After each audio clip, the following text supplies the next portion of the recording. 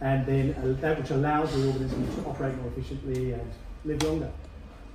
So the, the part about the immune system is uh, as we get older and as rats get older, our immune system starts to degrade. And the reason it starts to degrade is because the T cells, which are one, one set of cells that are in the immune system, they learn to adapt to immunological attacks, but at some point they're supposed to destroy themselves after they've done the cell. Unfortunately, as we get older, the T cells don't do that. They hang around and they stop the creation of naive T cells, which are there to protect the organism in the future. So the immune response degrades. This is uh, all about aging. Uh, so let me take a step back. Why do we care about aging? Why do we care about an immune system that works as we get older? Aging is about suffering and death. We, we don't want to suffer, we don't want to die, it's pretty obvious. Uh, that's why we care about longevity, that's why we care about anti aging. These uh, diseases that we are 100 times more likely to get when we're 65 than when we are 35. We do not get these when we are young, or we are very unlucky if we do. These diseases also cause suffering and death. That's what we're trying to avoid. So at this point, we might ask: Is are, are we the only people in Australia that cares? I'm pretty sure most consumers care about longevity. They want to live longer. But society does care, but in a really kind of strange way. Without modern medicine, we none of us would probably live up, live up to 40. Most of us would die child, either in childhood or in childbirth.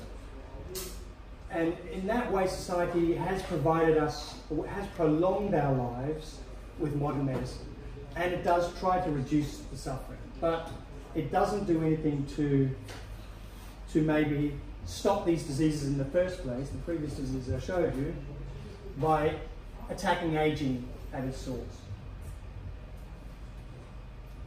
Uh, so this is to remind me to talk about another story, uh, which is kind of relevant to the, the modern society not caring about aging. Uh, there was, I remember reading about this guy who is a South American, very Catholic, uh, and the Pope at the time was saying you cannot use birth control, and unfortunately, he had many kids and he didn't want any more kids. So, what he decided to do was put a small hole in the, in the side of all of his condoms, so therefore, it, he wasn't actually using birth control anymore because it's faulty, so he wasn't sinning. Right? He could say, I'm not sinning because it's no longer a birth control. But it's actually quite effective, I'm not having more kids. So, this is, this is a story that reminds me of of society. It's like a, we are not going to overtly extend our lives, but we're, somehow we will through modern medicine. There's a better way, right? Why do we care? This is just about us. I'll just quickly go through this. I had a humanist and a transhumanist uh, definition, which you probably don't care about. Um, but this idea of society not allowing itself to hope for a longer life or society in general thinking that long life is bad, we can only live our natural spans.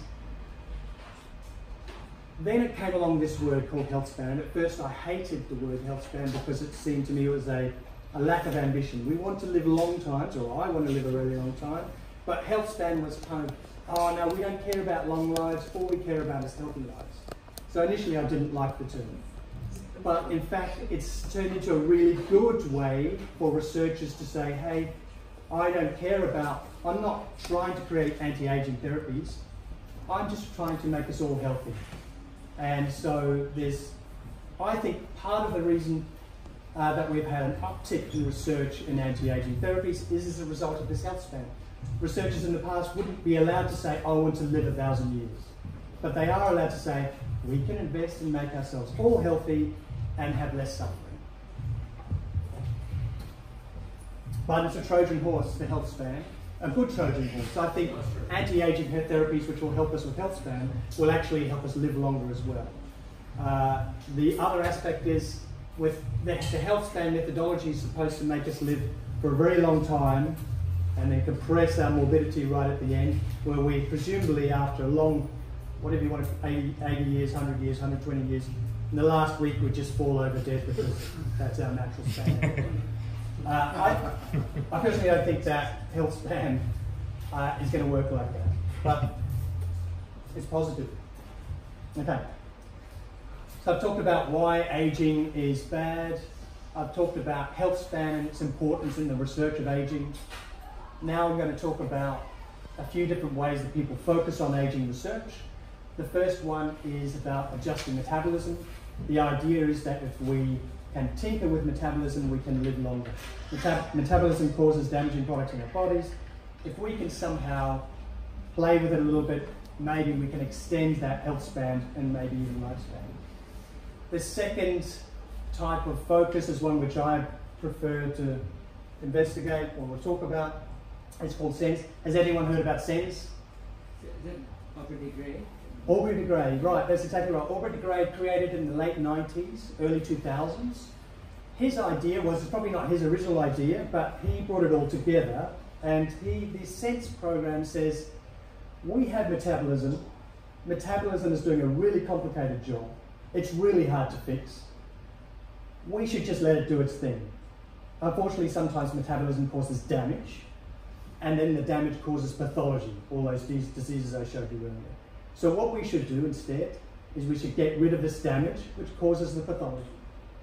And there are, according to the SENS protocol or program, you don't have to read all this, seven forms of damage. Uh, they came up with seven, Aubrey came up with seven forms and the last type of damage that was discovered, according to him, was in the 50s. So he's pretty confident that, well, the SENS Foundation is quite confident that there aren't, these are the most important types of damage that we need to remove from the organism in order to extend our lives. It's just fit within the slide here. Senolytics fits within this targeted ablation of death-resistant cells. So I'll talk about senolytics in a sec but it is, a, it is one of these, attacking one of these seven types of damages that, that SENS uh, talks about. Sources of damage are unchanging. I just mentioned that they can't find, or at least the SENS Foundation asserts that there aren't any more types of damages that we need, damage within the organism that we need to fix. Ah, so this is the third type of uh, focus where we just try and fix the individual diseases themselves, uh, which doesn't do a lot for health span. In fact, part of the issue with healthspan is we, we're using technology to extend the lives of very frail people. I don't think that's a way forward, right? So initially in this area of aging research, there was quite a lot of uh, maybe conflict between metabolism and SENS.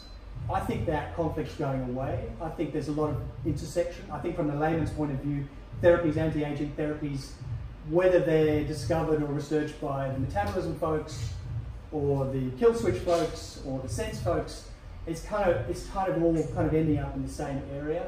So and the senolytics, for example, the metabolism folks are really excited about senolytics as well. It's not saying, oh, this is this is obviously fits within the SENS paradigm. They're super excited about senolytics.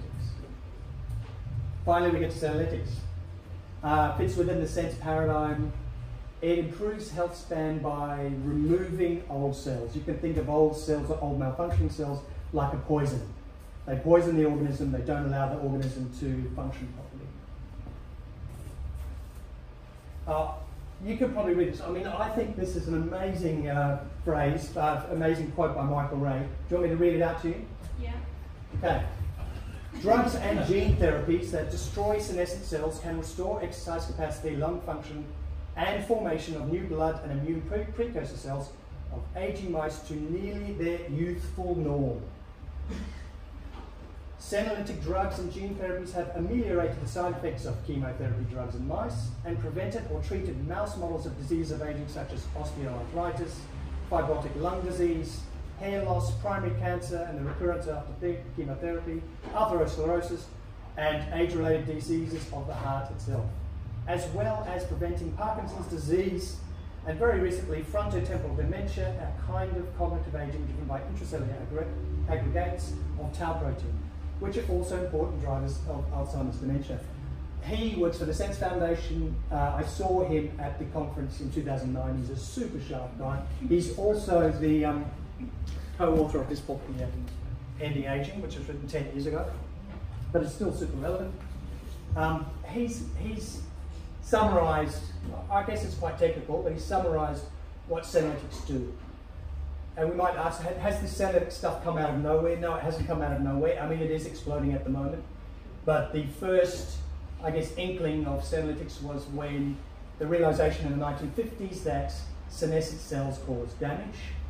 Then Aubrey de Grey added it to SENS as, as kind of damage we have to remove in 2001. Um, then in the late, oh, 2008, we had uh, Campisi, Judith Campisi, who did some more research on, on senolytics. She usually works in telomerase, telomeres in cancer. Uh, finally, in 2011, there was a good proof of concept in mouse models where senolytics worked and improved health span and lifespan. There was a much better proof of concept in 2016. Both of these proof of concepts were at the Mayo Clinic, one by James Kirkland, the other one by Van Deursen and Baker. But the 2016 breakthrough, which was a, a much better example of, of effective senolytics, made the industry explode. So, so, so which, which industry, it's not hair loss, right? Which, which industry is the most uh, well, you see, hair loss comes from aging, Oh, right? So the point is, Alright. aging causes all right, this is one industry. It's, it's probably more complicated than that. Let's talk to a bio- biologist. Testosterone, maybe you become um, sensitive to testosterone as you as you get older, something like that. Um, so I've explained why now. There are other celebrated anti-aging therapies that are just coming out now. For example, metformin, rapamycin, resveratrol, uh, nicotinamide riboside. I take nicotinamide riboside. Um, but the problem with these therapies are, or the concern with them, is that they are actually mimicking a really good diet and exercise regime. And a really good diet and exercise regime isn't really going to help you long term with your health span. I, I would happily take all of them, but um, that's the concern. That's why Senolytics is seen as the first real, almost available human regeneration product. These are some of the entities involved. Apart from the Mayo Clinic, the Mayo Clinic is still doing is doing a whole bunch of research, lots of different research, research like on human trials, but the Mayo Clinic are usually doing it on publicly available or easily available senolytics. Unity Biotechnology, Oisín Biotechnologies, they're developing novel therapies, novel senolytics, which are supposed to be much better than the currently available ones. You might ask, well, what are these currently available ones? This is one of them, Fisetin. Um, the Mayo Clinic has done a lot of research using Fisetin in mat rats. They're doing one now with humans. Uh, this was the reason why they can do it in humans now is because it's gone through trials in the past as a therapy for cancer and other related pathologies. So it's really easy for them to use. They don't have to worry about the safety aspects. Um, Fisetin is probably the best performing senolytic currently. It has, for example, in mouse models, it gave a 38% increase in health span and lifespan in the mouse model. Funnily enough, you cannot buy Fisetin at the moment. I've tried to buy Fisetin. It's all on back order. Right, there are a lot of people out there self-testing. These are the other things that, well, the other available senolytics. My cousin is actually on this, but it's for his, he's got scoliosis, it's for his back. Quercetin only works in conjunction with dasatinib, but it's almost as powerful as Fisetin. Uh, the issue is that we do not know how well they work in humans. That's what all the studies are. But for these products, who knows what's happening with Unity Biotechnologies, how efficacious they are. Um, so before I get to the action statements, Senolytics, in my view, and I was telling Peter the other day, this is uh, this is just out of nowhere, and it's, I believe, an amazing breakthrough. Uh, it's going to be the first step in longevity, tr- longevity treatments. I'm not sure if any of you have heard of longevity escape velocity. Anyone know what that is? Ex- escape velocity. It's the idea, yes, it's the idea that if you create some sort of anti-aging treatment, then you live long enough for the next anti-aging treatment to be created. Um, and so senolytics as the first one is uh, might give us 20 years or something like that while they work on other things like cancer or I something. mean, I mean, some people have frozen themselves, right? There's cryonics, yes. I Last mean, resort. yeah. Aubrey de Grey, I mean, the creator of SENS, he's signed up for an American cryonics uh, company. What can you do if you find this interesting? Uh, you can educate yourself. SENS.org has lots of uh, content on their focus on aging.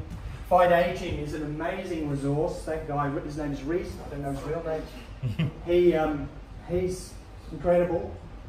The amount of stuff he puts out. This book here is still, I mean, I'm not a biologist, but, and it is somewhat technical, but it's a super interesting read. Um, it's 10 years old now. Uh, Juvenescence is an investment company. I think it's in London. Uh, check them out if you're interested in, in investing within anti-aging. Undoing Aging Conference is in Berlin. It's the second year it's running. It's organised by the SENS Foundation. Uh, the, I'll tell you what, that first conference I went to had free alcohol. But um, the, in other ways, it was, uh, it was actually super interesting.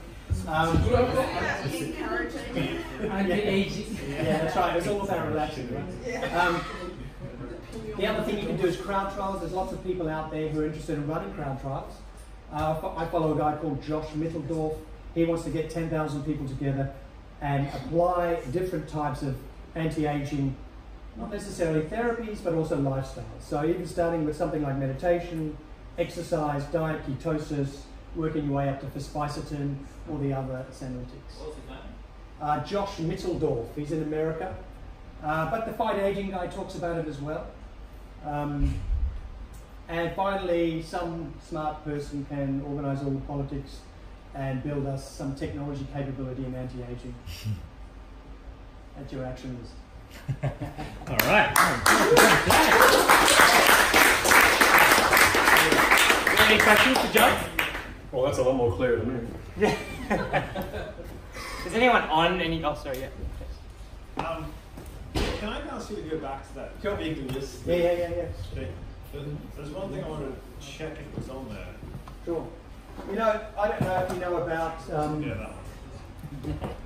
uh, patient zero. There's a woman who put a telomerase, telomerase virus in herself uh, in order to lengthen the telomeres.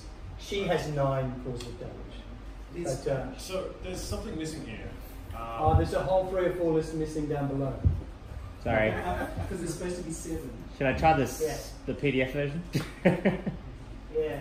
Because like yeah, it, there's one thing that kind of stood out was um, like like cell methylation is as you get older, genes get turned on and off, get get modulated based on environmental pressures as well as um, you know even as you lose telomere length, it affects like the the genes and the responses near those regions because of the availability. Of So you're saying it's DNA damage?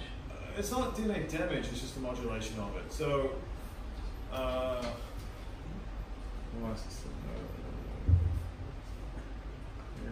yeah, it still doesn't look like it's there. Um, and I mean, like, you know, for example, a reason to drink alcohol is to reduce, for example, uh, uh, cell methylation to anybody. And it's a mass, it's one of the largest prognosis detect, like, prognostic markers of various diseases whether or not you're going to die or not, whether or not you would get a particular disease like cancer or Mm. even neurological disease Mm. as you age. So it, I found it fascinating. It's not part of that. Kind any mistakes in this presentation of mine? But uh, Oh no, no, I mean, it could be. If that is, It could the- be under the umbrella of something else, but maybe it's not there. Maybe, Yeah, and, maybe and you should give them a The email effect- and say, hey, guys, you fucked up. one of the yeah. So it's either it's either a drug or a technology intervention to change that. Mm. One of the first, uh, what's it? Fisetin. Fisetin? Yeah, Yeah. yeah. So that's an antimitotic drug, right? So it slows down uh, cell replication, which can help stop the damages that can cell replication. You get uh, damage to telomeres, you get that more meth- like increased methylation usually, in general, in general. and if you mix it with things like destroying damaged cells, it's got that slight effect. Now, in mice, that's kind of great. I mean, we've cured multiple things in mice. Yeah. Like Exactly. seven I mean, the cancer model in mice is completely of them work in different. humans, right? so yeah. So that the I think, The, yeah, there is, there's a step there, and I'm not probably not the person to answer it, but the idea, yeah, I mean, but the idea that ra- we're not, or rather, Senolytics might not depend on a particular pathway within mice. It's uh, potentially it's a more engineering approach in terms of it's the brute force removal of bad cells. However, that happens in humans, right? So I think the energy guys are working on removing uh, old um, cells in the knees that might cause you arthritis. Uh, somebody in the States, I think, might be working on cognitive deficiencies. Uh, but they're all going to be presumably quite different. And certainly targeting is going to be a big issue, right? Trying to target. I mean, people, the people who are self-testing are just figuring out, oh, a mice weighs this much, oh, I weigh 70 kilos, I have to uh, therefore take, you know, the whole bottle of pills in two days, right? In order to get, but it's kind of like they're just shooting in the dark, obviously. Yeah. Okay. You two need to get a ring.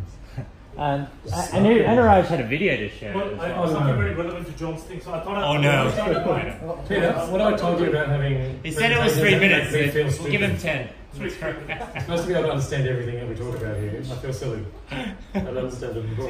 it. This is awesome.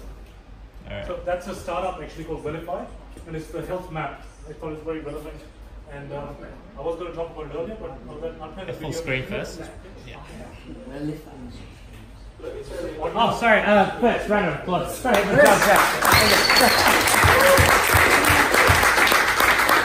audio, audio working with this. No, how did you kidnap the stage again?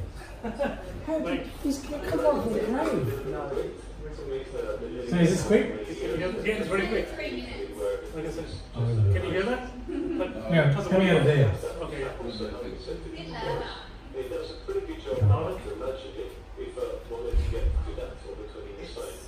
So basically, uh, I mean, it's, you're visualizing what you would look like if you didn't take certain actions um, in your lifetime. I'll mute this and you can talk to it. Yeah, yeah, yeah. No, no, don't, don't mute, don't mute. Yeah. But- but- but- No, no, Okay. no, no, we don't Okay, understand. sure. You talk about it. You talk, right, okay. Yeah. Yeah, sure.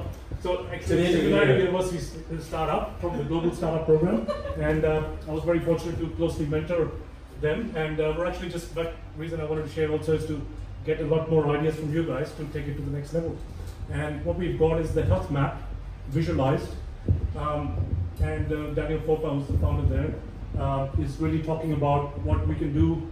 Um, so you can see the health map. Uh, you know, taking uh, building different uh, metrics based on questionnaires, fitness, nutrition, sleep. So triggers based on your wearables, enables, and audibles.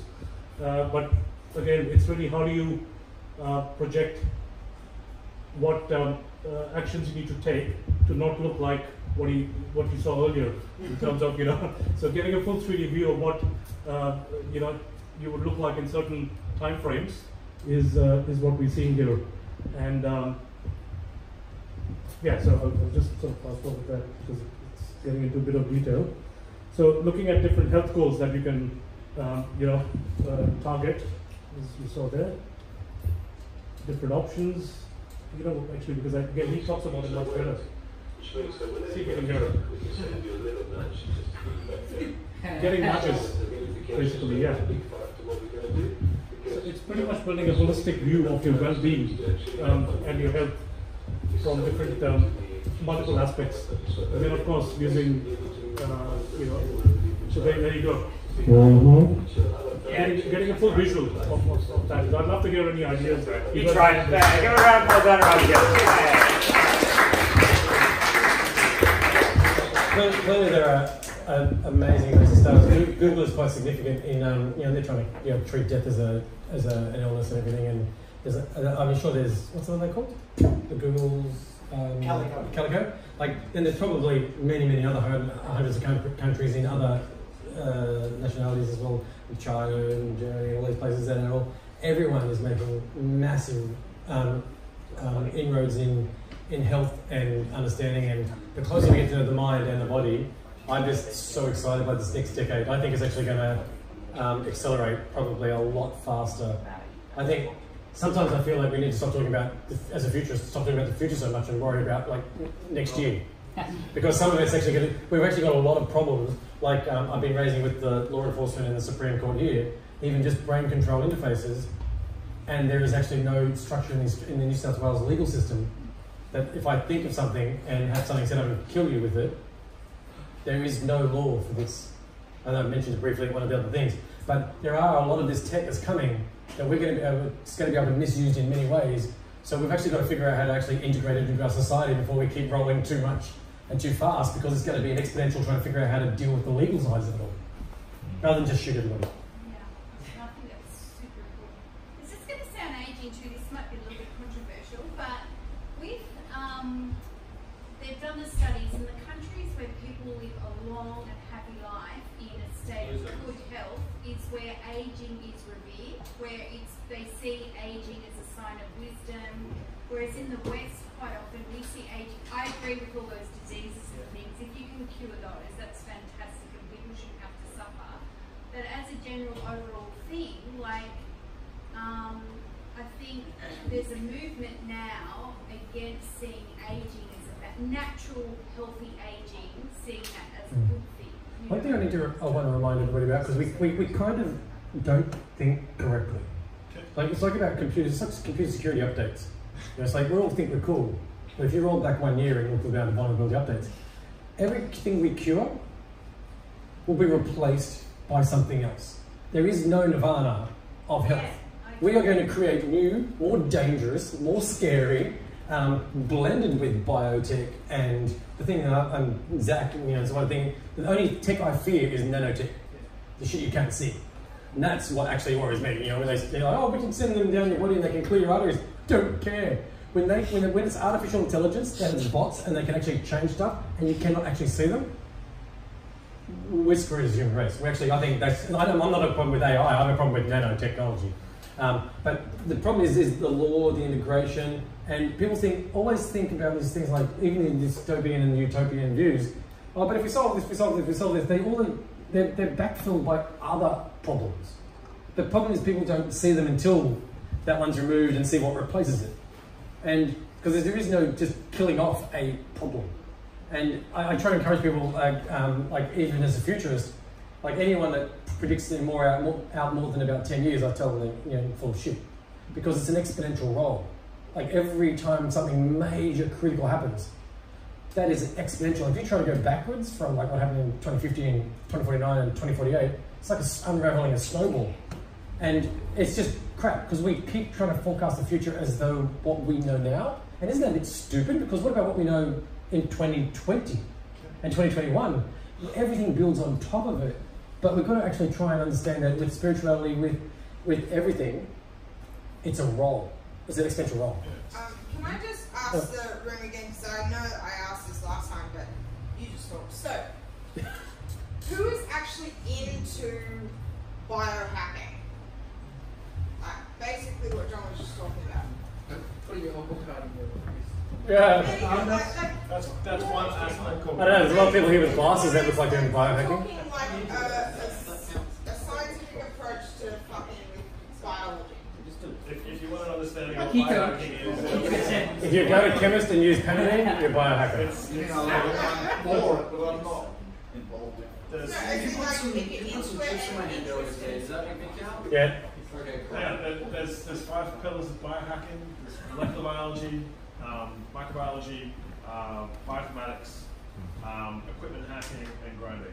Right? So if you're any of those things, grinding is like uh, implantables. Um, Who's here good at plantables? I smell a spinner. That kind of thing, right? So, so Planters they're- and planting. Meow, Meow and I came up with those pillars like two years ago. Like that's what we decided is like biohacking. And if you any of those things, you can you and, and you like to do it outside of the normal establishment, that would be biohacking. Well, meow. it's not bullet coffee. Sorry. Bulletproof. yeah. Whatever. not Mr. whatever it's Mr. called. Opal card himself. Um, but Where is he? But, but I anyone, disagree. but anyone who's Why? into, I'm not saying Oh, no, casual. no, we can. I'm not I, I think it's saying like if casual bulletproof coffee, but like my thing with biohacking is just taking Panadeine doesn't make you a biohacker. No, no. If. A scientific approach If you take it to on the that's fucking molecular with biology. biology. If you, if you go the mi- mi- like the micro and molecular biology side of that, then totally fine.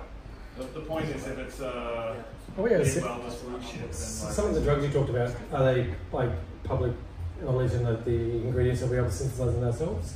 Yeah, you can. Yeah. Yeah. Like like why why wait for The fentanyl problem- or whatever no, the is? problem is it's, Make it's made to a biochemical like process which is hard to mimic as a synthetic compound. It just hasn't hasn't been done at scale. We, yet. we're working on some patent of doing that cheaply. I read it when Because you know, Sweet. well, some of the universities. Well, everyone knows why Some smart of these drugs went now, don't they? strawberries, right? Why modafinil and everything went like in the last three years? What did? Because modafinil and uh, armodafinil and all the smart drugs because the patents ran out. And the Indian manufacturers just went, go, we're going to start manufacturing it ourselves. it's also And patents the- innovation. Yeah, interesting. So um, now have we got something over here, Emmanuel? All right. Thanks for that. Uh, another round of applause for the instructions. Um, so everyone, so the talks are sort of concluded, but we're going to do a mini hackathon if you guys are interested in running artificial intelligence and finding a use case in how to improve our healthy, healthy lives. So uh, imagine who's got a startup called Deep Sleep, and it's about how do we use things like deep learning and artificial intelligence to improve the way we sleep. How, how do we increase our healthy lifespans and improving our sleep? So I'll just do a quick introduction to uh, uh, Emmanuel. Let him introduce himself. But let's give a round of applause for Emmanuel. Yeah. Uh, is his voice big enough to? What is it? What for? Yeah. Yeah. Can you project it there? Yeah. Yeah. So, all right.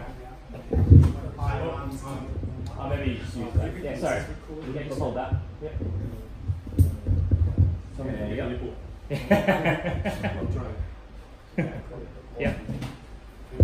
And maybe a bit higher, ne- next to the next to the neck. Yeah. There you go. yeah. Yeah. Hi, I'm Emmanuel. I'm, I'm trying to build a startup in uh, mental health uh, and sort of looking at uh, different uh, uh, pathologies of mental health. So, uh, looking, so looking at the symptoms of mental health, maybe uh, uh, uh, uh, utilizing uh, Stuff. yeah. Technology. Technology. yeah. So um, Sensors. so, um, so, um, so currently, I, I have an idea to uh, uh, use. Well, my background first. My background is uh, like uh, machine learning and uh, a little bit of machine learning, uh, a lot of Python programming, like a lot of, and um, I'm taking courses in computer science and things like that. But um, but um, an- anyways, uh, let me start with my presentation. Oh, there is a presentation. Sorry, my mistake. It's a very short presentation because I was, I was trying to build a demo, but it's complicated. That's what we're here for, right? Yeah. Yeah, exactly. But, uh, so, uh, deep learning for healthy sleep is a uh, non-wearable uh, uh, computer vision system to track uh, sleep, right? And uh, currently, uh, often for tracking sleep are either non-wearable or wearable. Uh, the wearable devices have problems with uh, sleep, sleep hygiene and the effort to uh, need to have to uh, charge the device. So um, in some cases where mental health is a problem, needing to charge the device is, uh, is, a, is a challenge because you might not feel so good, you might feel unhappy, uh, depressed, and, um, and, it, and so you, you, might, you, you might not want to charge your device, right? But, um, and also the current offerings for uh, uh, uh, non-wearable devices are uh, um, like, sorry, uh, Don't apply any deep learning. so Yeah, and the current offerings for non-wearable devices don't apply any deep learning. Right? Yeah, and um, and algorithms utilizing deep learning uh, being of the art in, in complex domains. Yeah. So, any please, please ask questions. I, I, the presentation was really terrible, so ask questions. Is that the end of the presentation? Yeah, nice. We, we should call the opposite of deep learning shallow learning. Right? And That's- design or that's- bit, that's bit shallow learning. So, It's called linear regression. yeah, so put your hands up maybe.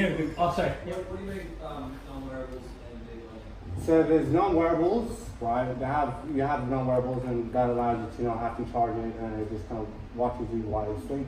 And the problem with that, they don't, they don't apply any deep learning. So when you say they're not applying deep learning, Right. can you explain deep learning? Sorry, so the, Yeah. the deep learning is uh, a system to uh, analyze complex domain systems where it's really hard to uh, approximate. Like like systems that are like just hard. Anything that's hard and uh, hard data, like deep learning is really good for that. Recognizing patterns. I think it's more around deep neural networks. Yeah. Yes, sir. Is it a, is it a fundamental impossibility to apply deep learning to non-wearables? Or- So, but, uh, I mean, Or- so, so, right, so it's not just deep learning, it's just it's a, a mixture of deep learning and many other algorithms, uh, anything, but deep learning is uh, Just a very, tool. uh, uh, uh, Yeah, very- it's just a tool. But I'm asking, why like, is it possible to apply deep learning to non-wearables? Is it well, To- to it's non-wearables. possible, yes. It's possible. So Yeah. I don't, You apply deep learning to It's just anything. data. Yeah, Yeah. you apply deep learning to, you literally, deep learning is, has been used for, for, for anything concepts. But what's the key, Manuel, what's the key link between sleep and mental health? So sleep and mental health, it's, symptom, it's, a, it's a symptom of, uh, in, in many cases, a symptom of uh, having bad mental health. Um, and, and now analysing that may be able to help you do what? Uh, Like with, with this kind of, like with certain sensors and everything's going to be able to uh, figure out what the problem is?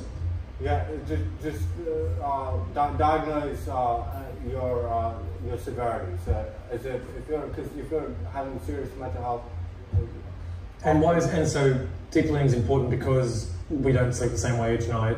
You have to analyse many factors, temperatures, so you, which we just, you know, we do not have the ability to do so. You can go to a sleep, you can go to a sleep centre. I've- And, and you're unconscious. Yeah. Yeah. Could You you, can go to- just, yeah. just as a primer, could, could you describe like so far what your ideal device or product would look like? Right, so How it works? it's a, it's, it's a computer vision system that would uh, sort of, it's a camera that, that would be on, on, on the ceiling would be bad, and it would just watch you and and apply deep learning. Yeah. So Okay. it'll analyze your fear. So when you're talking about deep learning in sleep context, Right. it's about giving the data you get from your sleep Right. context and making sure the machine can learn this over time and give you useful data. Right, so I'm, I'm, I'm thinking to track your REM sleep. So during REM sleep, you're not really moving much in your sleep, right? You're, you're in paralysis actually, and then, and then the, the uh, computer vision system uh, would uh, be able to uh, uh, detect this. How how do you, how do you uh, track REM sleep with camera? So, uh, so the camera just watches you, right? And uh, when it's watching you, it can, it can tell whether or not you're moving, right? What's your motion, right? And, and then um, once it can once it can ascertain motion, it can then tell you uh, what uh, whether or not you're in para- paralysis. But you can also have other data inputs to help you measure. Right. Yeah. So, so one other input would be um, uh, snoring. If you're snoring, so, Okay, so, yeah, acoustic movement. Yeah. And if you actually do wear a sleep tracker, then you've got heart rates and a whole bunch of other things. Right. And deep learning, I, and I agree, deep learning is, we can't really do it without deep learning on an individual, individual basis. Otherwise, it's like going, you know, cholesterol is blah. Like, it's so individual because A, who's got what bed? Who spent $10,000 on a bed? Yeah. Who's got those foam things that's helping them do this? And I mean, so it's going to be your environment is actually going to be important. Has he got a quilt where he's slightly allergic to duck feathers, which is causing an irritation? Like, you, you're going to need to, like, obviously, uh, so have you got a sort of a model on how to Yeah. um, analyze the many inputs and, like, so if you add a new input, Right. like, okay, I'll get a sense that that can do So pollen. Emmanuel actually has sleep Yeah. apnea. Is No, that- no, no. Well, not apnea. Um, what do you have? Sleep uh, so I have insomnia sometimes. insomnia. Yeah. Yeah, I have insomnia and oversleeping. So it's either insomnia or oversleeping. So it's insomnia and then I have to like oversleep. And what are the things No. you're doing now to, to help to help with that? Are you analysing your own patterns with the deep learning? Currently, what, I try to do um, is uh, no, not stress myself out too much. But but if I had something, but So, so do you use as something to measure stress? I, I, I don't do that. But um, what I would like to do is be able to track sleep right while, while I'm sleeping, and then if I ever have an episode, it can tell me, hey, you're having an episode, and I can you know, track it historically, and I, I can say I've been having these many episodes, and it's correlated with these factors. So do you think that the, the deep- deep learning gets better and better the more sources of input, like whether it Right, be of course, a right. device or a Right. Does anyone camera? have um, sleep issues right right now? Right. Jeez, that's that's a good Has- twenty percent. And have, all- and- and those who have, have you heard of ASMR? Oh my god, Cardi B, oh my god. So who would pay for something to help you with the sleep? I Let's do, start with but my still not doesn't work because all the Red Bull I drink with it. okay. Okay. okay, Is, is, is, actually, is diet a big factor in that as well? Yes, diet. And autoimmune deficiencies. I- I'm not, I'm not an expert on, on sleep. I can tell you that. Um, But yeah, you, you kind of are because you are a sufferer and you see a lot more than someone who's not. Right. Yes. So, I, yeah. Right. You, you got diet. You've got a bit of starting point. Diet, stress, and um, what else? And um, Well, Tim, I mean, so what you're saying is that there's literally analysing sleep problems, which is incredibly important to mental health, is, pra- is impossible without deep learning and proper algorithms analysing many inputs And because sensors, yeah. we just can't do it. Exactly. And every person's unique. Right. So the, the, the sort of um, um, value proposition is that it's applying deep learning, right? And it's a non-wearable. So when it's a non-wearable, you don't you don't have to, you know, like I think we typically hmm. have to start with the problem first. So the problem is to help you sleep better, right? Right. Exactly. Okay, and then no, no, not help you sleep better, but just track your sleep. That's all it's No, the problem I've is to help you solved it. I just don't sleep. Right. That, that, that, that's on your part. That's on, on your Yeah, I mean, so typically when you start a business or try to kind of come up with an idea to help solve things, right? It's Right. like solve solving the problem. Right, right. So you frame it as what is the pain point? So Peter, right? if you take that mindset, but you Yeah. don't think of trying to solve something, Mm. there are many apps that already track sleep in a different way. That's right. But they involve either attaching something to your face or like your body or mm. your wrist, and people don't, they find it uncomfortable. Yeah. So a non-wearable is has an advantage there. They're not doing that, but That's also right. You don't have to charge it. But yeah, but also like if you think about like the intervention part is mm. at the moment still even human based, right? Like it's you see the data. Oh, I had a bad amount of sleep, and mm. it's the person doing the interpretation of what was it that gave me the bad sleep. They just see the data. There's no actual input of you did this differently or did that differently Yeah. or whatever. Like some of them track sound over the night, and they go, oh, there was a loud noise at three in the morning, and then you woke up briefly hmm. and then went back to sleep. Yeah. Those things already exist, but actually integrating it into like lifestyle, like every other data point you have access to. Yeah, it's a quantified something. But, but those complex things don't have, for example, deep learning po- like added to them to then Yes. make that categorical. Mm. Potentially try this or that. That's or- right.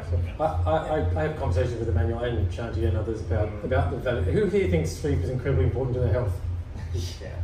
Okay, so for the last two years, I go I go between three to five days without sleep. Is that, is that, So, Well, am I, am I, do I have any problems? is that a deliberate? Yeah. You deliberately Yep. sleep. Yep. I think we have a I have, lot three, I have five times as much more hours in my day than any of you here. What's the increased chance So two years.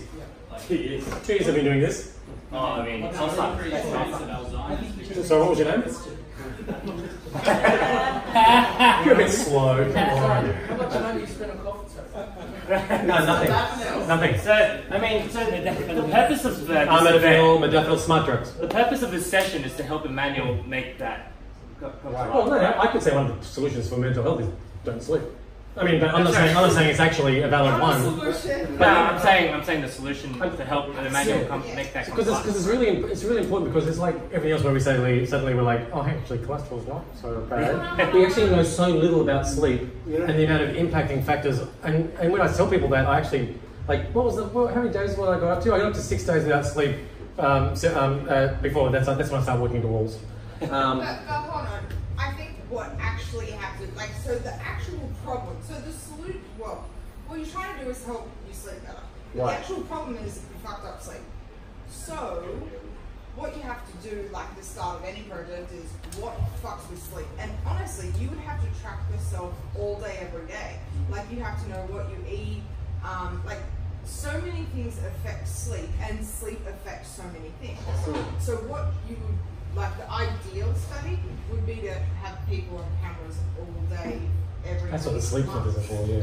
No, no, no, but, but that's a s- like sleep studies. Yeah, long like sleep studies. You go into a lab and it's Actually, you got a point. fuck. So Because during your day, when you're awake, Yeah. how much you exercise, what you do, if you do nothing, if you do a lot, what you eat, it's going to impact your and sleep you too. have to honestly input that data, which like no one does. The objective So, with, with this project is to track sleep with uh, respect to mental health. So yeah. really looking at the pathology of mental health with respect to sleep.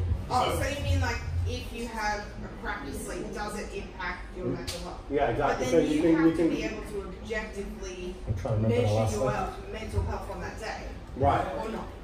So I'm, I'm looking at uh, severe cases of mental health, right? So, so, so not, uh, you know, sort of uh, like, you know, sort of the mean uh, of uh, the av- sorry, the average person, you know, uh, tra- tracking uh, their um, uh, their like their well-being. It's more like severe cases, right?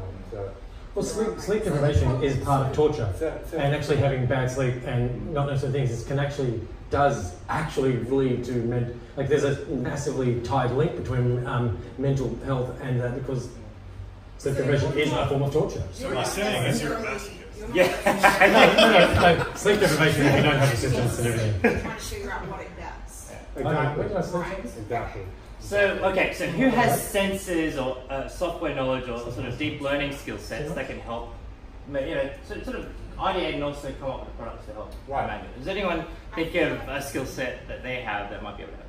Okay. Yes, we've been talking. Yeah, yeah, yeah. Yeah. Um, so, so one of the like on that point of like mental health and like severe cases, not just the average person. I mean, like for example, if people that suffer with complex diseases like chronic pain um, diseases, that you know, they, they found that sleep, for example, is super important in how much energy they have in a day to function. Right. Um, you know, when you're talking on that level of like mental health and maintaining some other disease and then how that works, like sleep is an important factor. People like this guy and myself potentially, sleep isn't is something we can actually play with and it doesn't It's like this people who eat anything Doesn't- that doesn't doesn't- awake. yeah, like, it cause havoc I their life. maybe sleep doesn't bother. People I like don't them, they, they miss a night of sleep or they have one hour reduced sleep and their entire day the next day is entirely obliterated. So Right. it's super important, like, like the amount of energy, like the, like that they need to put a lot in to make sure they maximize that output and that feeds into everything. So for those people, it'd be super important. I can I can imagine. Now, when it comes down to like the system you're trying to make, it sounds to me like it's the amalgamation of a lot of existing technology that hasn't quite come to this point. Like you have Right. projectors that have built-in Google Home, right? Like because they're linking like two systems to make them you know one. The sleep system, I think I think I told, told you this before. Like if it's something that sits above a bed, it's a camera system or something, you know whatever. Um, you know, for example, doubling is like a sound system to be able to play music, or like some people, like you were talking about ASMR, going to sleep. Like for example, people listen to relaxing music. I use like different light. I have uh, the Philips Hue lights, and I input like pedantically like um, the scheduling for my light system, different colors at different times. It, it wakes me up in the morning because my whole room's like blackout, so you can't see the sun.